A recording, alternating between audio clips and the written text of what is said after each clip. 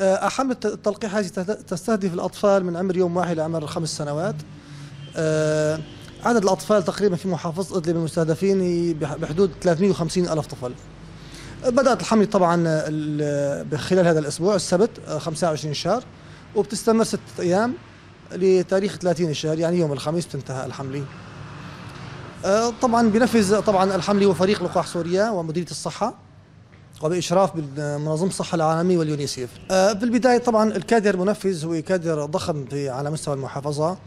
آه، الكادر فريق التلقيح مؤلف من غرفة مركزية للمحافظة مديرا من مديرية الصحة. بنبثق على الغرفة المركزية من مناطق عملياتي. وكل منطقة تحتوي مجموعة من المراكز. طبعا في كل مركز مجموعة من الفرق. مجموع المراكز في المحافظة اللي مراكز الحملات عم نتكلم عن مراكز الحملات هن 32 مركز. مجموع الفرق في المحافظة 600 600 فريق تلقيح طبعا بنغطي المحافظة بالكامل كل البيوت كل المنازل كل المزارع مقسمينها لقطاعات وكل فريق له قطاع محدد. وطبعا الحملة هي جوالي بيت بيت. اللقاح آمن وفعال ويستعمل في كل دول العالم. آه وسائل آه بيعطى في قطارة نقطتين بالفم.